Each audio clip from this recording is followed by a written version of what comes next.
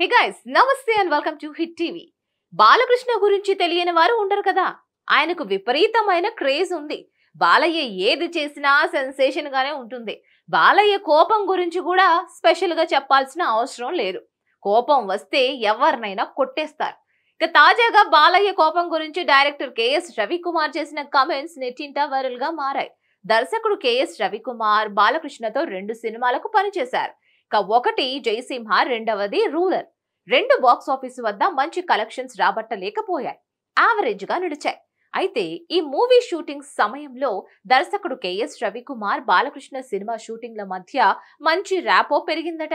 అయితే ఆశ్చర్యకరంగా ఇటీవల జరిగిన ఓ కార్యక్రమంలో కెఎస్ రవికుమార్ బాలకృష్ణ కోపాన్ని ఎగతాళి చేశారు.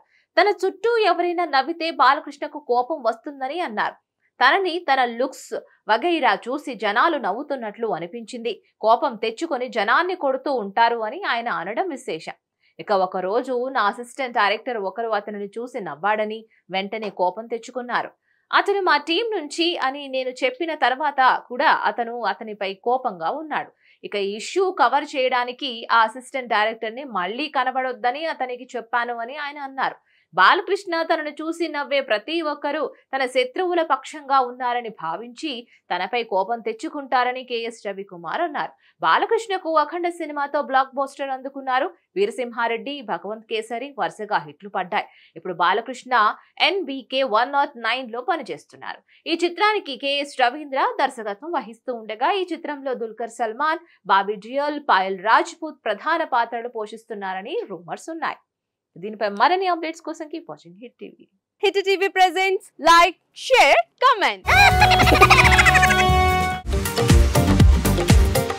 TV వాళ్ళకు కూడా నేను ఒక సర్ప్రైజ్ ఇద్దాం అనుకుంటున్నాను. మీరు మాత్రమే జెస్సీ ఎందుకు అయ్యారు? ఇలాంటి అమ్మాయిలకి పిలవడానికి బాగుంటుంది. చందు సాయికి like you and have a జనాలకి ఒక పేరు నచ్చిందంటే దీనికి ఒక ప్రాసెస్ ఉంటుంది. ఎందుకు బాక్స్ డైరెక్ట్కి వెళ్ళిపోదాం? ఏదైనా ఒకటి మర్చిపోయినావా నువ్వు? ఏం మర్చిపోయావు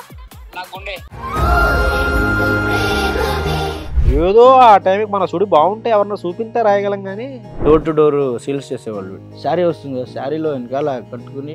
అమ్మా నీ వెన్నెలా